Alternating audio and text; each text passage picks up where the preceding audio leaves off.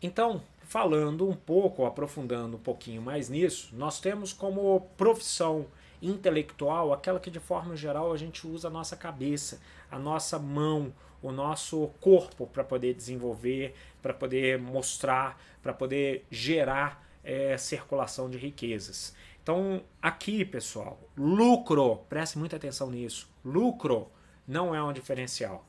Muita gente fala assim: ah, não, o lucro é o único diferencial. Não.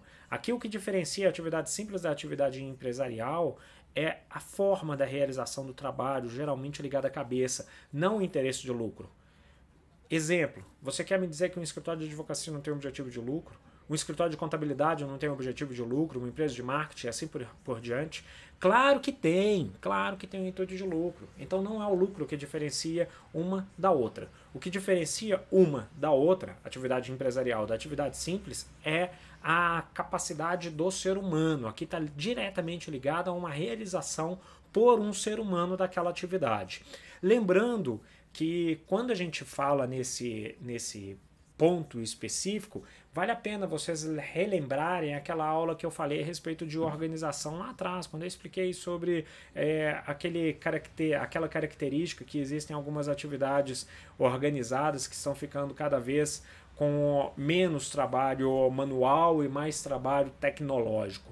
Então, aqui, pessoal, a profissão intelectual ela está ligada diretamente à capacidade do ser humano em desenvolver uma determinada atividade tá bom? Muitos, inclusive, ligam esse essa profissão intelectual à relação pessoal que eventual cliente tenha com aquela pessoa.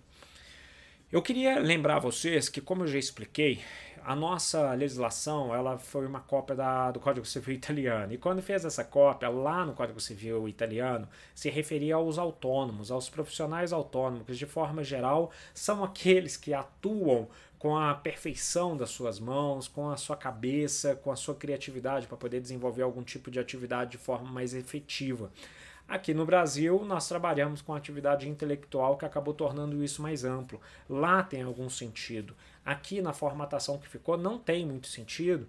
E vamos conversar um pouquinho, por exemplo, sobre um escritório de advocacia. Um escritório de advocacia com centenas de advogados internos é, com uma organização fantástica. Será que esse escritório de advocacia não é, não exerce uma atividade é, com todos os preceitos da atividade empresarial? Com certeza. Mesmo assim, pelo desenvolvimento intelectual que é exercido no escritório de advocacia, ele não é considerado uma atividade empresarial. Significa que não pode ter recuperação, significa que não pode ter falência, significa que não pode emitir duplicata. Claro esses pontos, pessoal, porque daqui em diante a gente vai começar a trabalhar com um por um para vocês visualizarem um pouquinho melhor, tá bom? Então, vamos lá.